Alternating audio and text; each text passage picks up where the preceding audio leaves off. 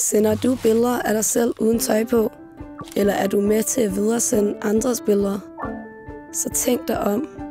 Tænk over, hvad der kan ske på længere sigt, og husk at passe på. Nogle gange bliver ens billeder lagt ud på nettet, uden at man selv vil have det. Billeder af personer under 18 år, der har fokus på kønsorganer eller seksuelle handlinger, må aldrig deles. De hører nemlig under loven om barnepornografi. Er dog en undtagelse. Hvis begge er over 15 år, må man gerne dele seksuelle billeder med hinanden, hvis begge har givet hinanden lov.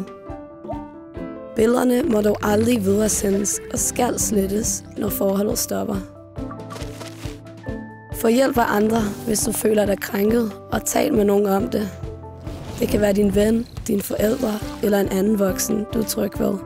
Som sundhedsplejersken på din skole, din læge eller din lærer.